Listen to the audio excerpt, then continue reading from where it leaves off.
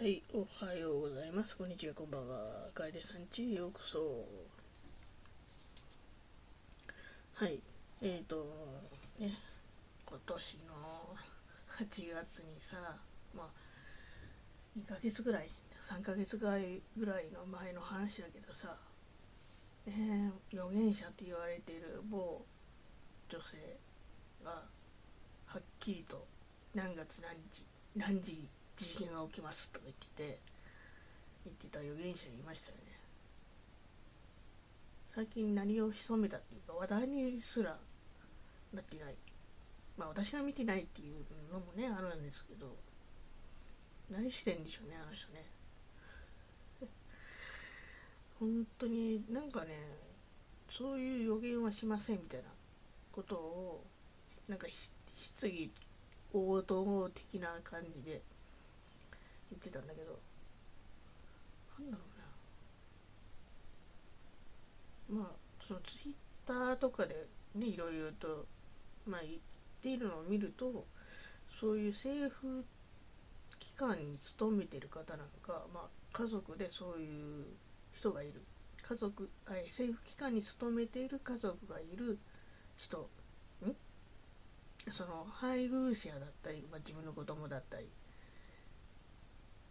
あ、政府機関に勤めていたりとか、まあ、そういう、まあ、今は秘密にしている事業所みたいなのに勤めてる人、うん、から聞いた話なんだけどってその預言者と言われてる人たちの人のお友達だったりまあ今なんか会社をねやってたりとかしてるんでその会社員に来ている人？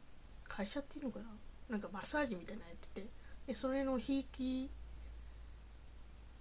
筋の方にそういえばさ旦那さんとかね奥さんに、うん、こういうこと言われたんだけどってで何月何日に地震が起きるみたいだよって。しかもあの自然な地震じゃなくて人工らしいよっていうのをぼそっとぼそっとっていうかまあ本当は話しちゃいけないことなんだけどねそういうのね。あの機密だったりとかするね。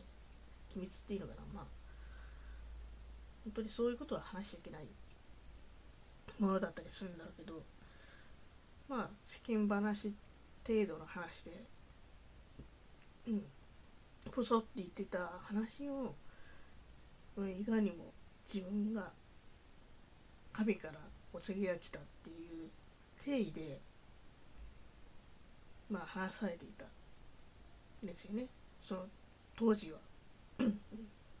だけどこんなに大騒ぎになっててそのツイッターなりインスタなりまあもちろん YouTube のコメント欄なんかにもどうなんだと。人工地震なのか自然な地震なのか。でこれは予言なのか予言ではないのかっていうのをうん、まあ怒るっていうか怒るっていうか、まあ、そういう質問をしている人たちがいっぱいいてすごく話題になって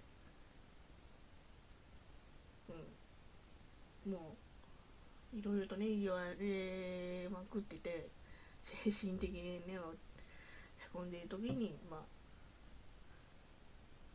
まあまあ落ち着いてきた時に9月になってからかな。にいや実はこうこうこうでこうでしたっていう話をまあツイッターで先にお話ししたのかな。でその後にまあ動画を上げてたんですけどなんかその時はもう政府機関にの人から、まあ、そういう話を聞いたよって言ってて でまあそれをまあ私は発表しただけですっていうような感じで言ってたような気がしたんだよね。まあそういう解釈でまあ話をしたんですけどねえ。ねえって。でそれを神からのお告げっていう風にしていたらしいんだけどその神っていうのはそのなんだろう神様？神社とかにいる神様じゃなくて上？上でも神って言うよね。上様。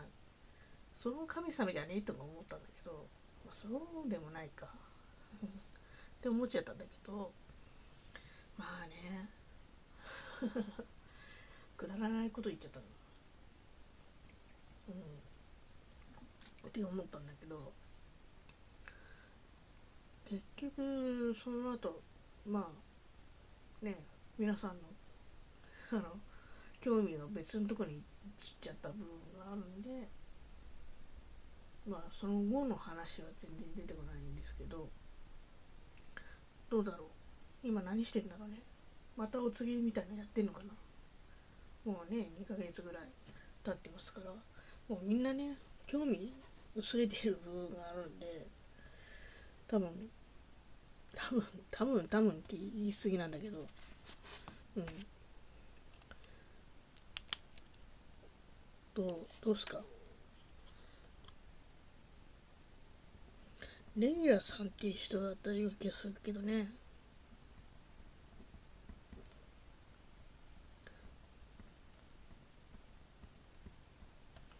あとすごく気になるのは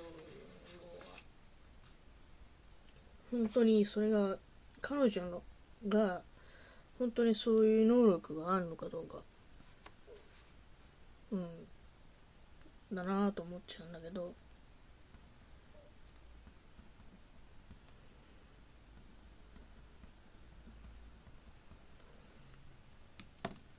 本当どう思います。皆さんもしねよろしければご意見いただけたらと思います。